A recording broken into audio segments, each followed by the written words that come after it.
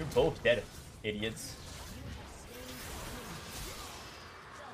Look how much I do. Like,